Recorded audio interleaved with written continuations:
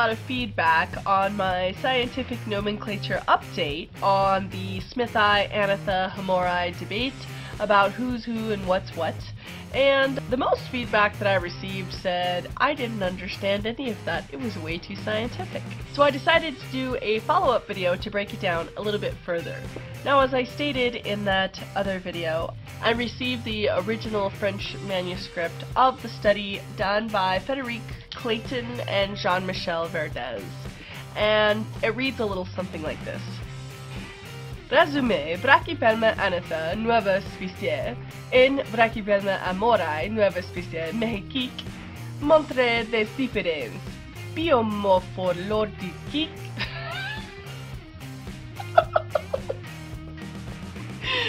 okay.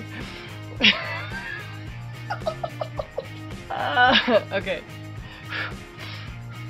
I'm trying to act serious. okay différences biomorphologiques avec B. smithi bien que visualmente proqueste simete de mieres pepe pepelepio. Pardon my French. What does this mean for us in English? Let me break it down for you. Basically, I worked very hard to translate the paper into English.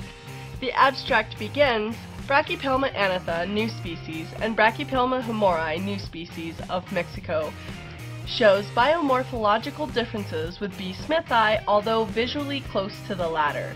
It goes on to break down the anatomical differences. What does this mean for us in English? Here's the bottom line. Brachypelma smithi was a species that was first described over a hundred years ago, and it covered a really broad range of Mexico. Since then, Smithi has been subdivided into three different species in the past, Annitha, Hamorii, and Smithi. What has now occurred upon closer inspection is that Brachypelma smithi is still smithi, contrary to the widespread rumors. Annitha is now, although it has some minor morphological differences, is still considered close enough to be also Brachypelma smithi.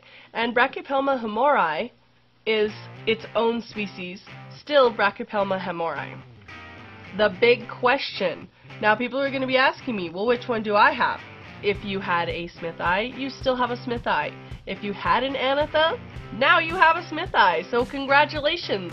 Some of you people just gained a new Brachypelma smithi. That is the breakdown on the new scientific nomenclature of Brachypelma smithi versus Annitha versus Hamorii.